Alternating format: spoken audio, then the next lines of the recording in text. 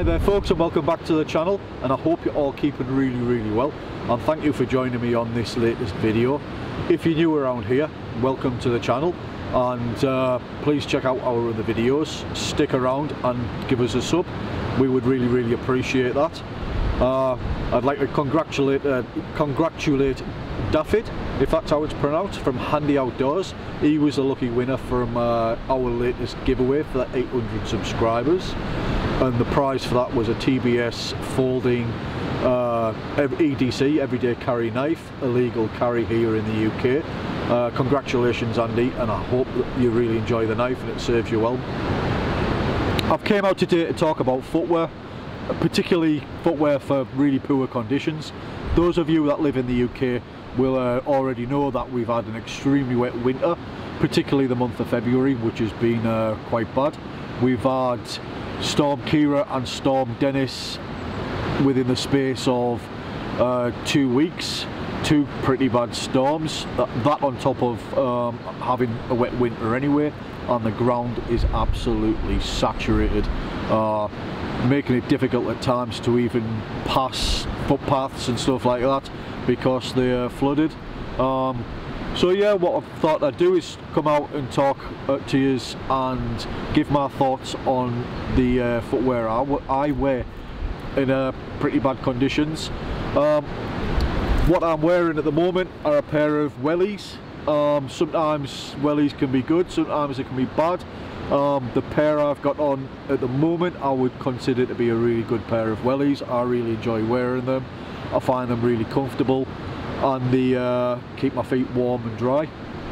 And the wellies I've got on today are uh, by a company called Muck Boots and they're called Muck Masters. That's the uh, style that I'm wearing today and uh, like I've said they are a nice pair of wellies.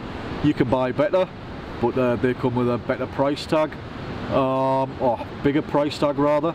You can buy cheaper ones um, but the cheaper ones last I've been wearing these ones um, for uh, just over a year. This is my second winter with the boots. Uh, I've had a pair before and the only reason I got rid of those was because the tread wore making them really slippery and dangerous so it was time to uh, put those ones away and buy a new pair. What we'll do now is uh, take a look at the boot um, we'll have a look at the construction of them what they're made of that sort of thing so I'll bring you along now and we'll uh, we'll have a look at them. There we go. That's the uh, welly. That's the style of them and I think it's quite a stylish welly. I really like the look of them. Uh, a little bit dirty but that's just with their use. But yeah, let's take a closer look. We've got the Muck Boot logo there and the design of the boot. And the construction of them is a robust rubber which is really really strong and it's uh, really durable which is re which is good. And the neoprene lined and the top bit there is neoprene. And a really comfortable fit. I have quite wide feet and this style of boot it works absolutely perfect for me. If we take a look at the sole you can see there that it's got uh, a really good grip really good for traction in uh, muddy conditions and stuff like that. Obviously it'll have limitations if the ground is um, too wet and too slippy. Uh, you, you, most things would struggle to get traction on that type of condition. But yeah, overall I think they're a really fantastic boot. Right then, if we take a look inside the inside the welly, inside the boot, we can see that's also neoprene lined, making the boot 100% uh, waterproof and really good for keeping your feet warm. They really do insulate your feet really, really well. I mean, I've, I've been out in some really, excuse me, bad conditions, in the snow, uh, in the wet, been in streams and stuff like that, in winter times and stuff, and my feet have stayed bone dry and stayed really well. If we take a look at the top of the boot here, we've got this tag here, which is obviously for pulling the welly onto your foot. Uh, it's got a little bit of a reflective tape, whatever it is on there. So when light shined, shined on that, uh, that reflects the light. And if we take a look towards the bottom of the boot, there on the heel, we can see this bit here, which is great for helping getting your boot off. You can, uh, either hook it onto the front of your other foot and pull your foot out the welly or hook it onto something, uh, a fence, a, a, a board on a fence or anything like that. Absolutely fantastic, works really well and it's got some fantastic heel support in that for a welly anyway, really good. There we go. Well that's us had a little look at the uh, welly. We've had a look at its construction and uh, what materials it's made of and I think it's an absolutely perfect boot for doing what we do in the outdoors, for enjoying time in the outdoors. Um, yeah, we can wear our boots, but with that, in the conditions and the way the ground is at the moment, they're going to get saturated. Yeah, they'll probably keep our feet dry. Sometimes they may leak. Um, but you've got to spend days drying them out. We can't force dry them because we'll knock the boot up. Uh, and again, they're going to get absolutely caked in mud but it just saves that time of having to clean, spend hours cleaning your boot. And with these, I mean I've wore these and I've walked maybe it's eight, ten mile, we've been like eight ten mile walks.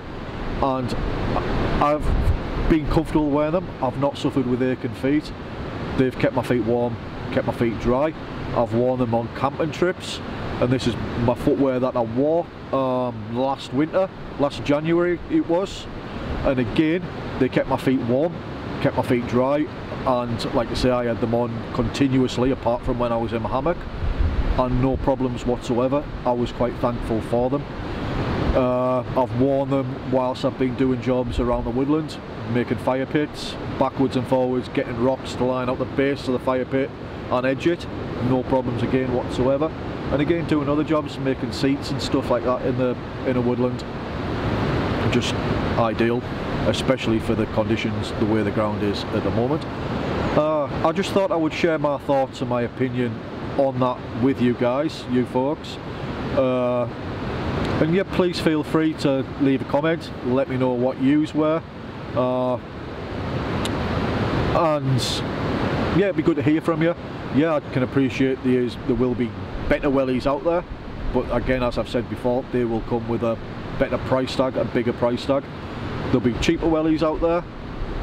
Yeah, they may do the job for a while, but how long will they last? Just my opinion. Uh, but yeah, I mean, uh, these cost 90 quid. I paid 90 quid for these, and but I have seen them in the regions from 90 pound to 120 pound on online. But not the cheapest, but definitely not the dearest, not the most expensive. But yeah. Right, I'd just like to say thank you very much for watching. I hope you have enjoyed the video. I hope it's been useful to, to, to you. Uh, and uh, thank you for coming along. And as always, stay safe and we'll see you on the next one. And if you're new around here, don't forget to subscribe. Bye for now.